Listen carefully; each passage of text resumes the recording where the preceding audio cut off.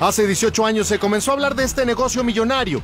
Aún no se le llamaba guachicol. De acuerdo a Pemex, ya se habían perforado las primeras 15 tomas clandestinas. Señalaba que el robo ocurría en refinerías y tomas clandestinas en los ductos. La petrolera calculaba pérdidas por 2 mil millones de pesos anuales.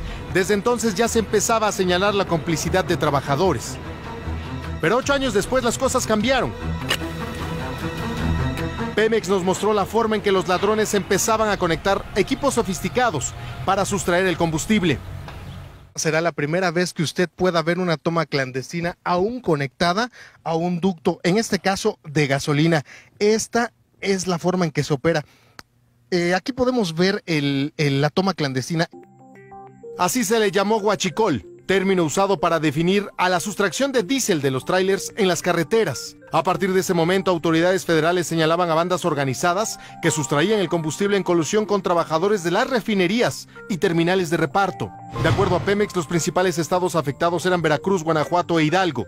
El guachicolero ya obtenía ganancias que rebasaban los 10 mil millones de pesos anuales, y desde entonces se señaló al crimen organizado como su protector. Así lamentan se delineaba el negocio perfecto que nadie podía detener. Analistas y legisladores advierten que son ladrones, que aunque tienen nombre y apellido, son protegidos por grupos del crimen organizado y por autoridades corruptas. El robo de combustible es un delito grave que representa la segunda fuente de ingresos para los grupos del crimen organizado. Asimismo, es generador de inestabilidad social, violencia e inseguridad para las comunidades. Así es.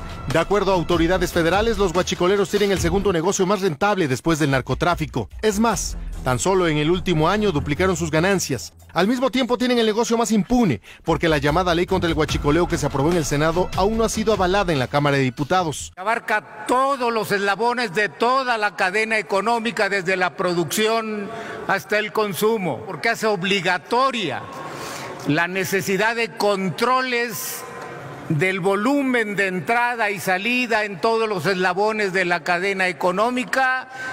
Tampoco ha prosperado una ley de extinción de dominio contra la industria del huachicol que permita confiscar las propiedades y equipos que usan para cometer el ilícito. Y no solo eso, aseguran que el crimen perfecto se sigue consumando a pesar de existir una ley que castiga el robo de combustible.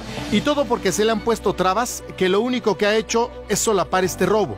Por ello, hoy analistas y legisladores aplauden la decisión del gobierno del presidente Andrés Manuel López Obrador de combatirlo de manera directa, atacando este problema de raíz y enfrentando las críticas temporales de quienes en su momento aseguran no lo enfrentaron.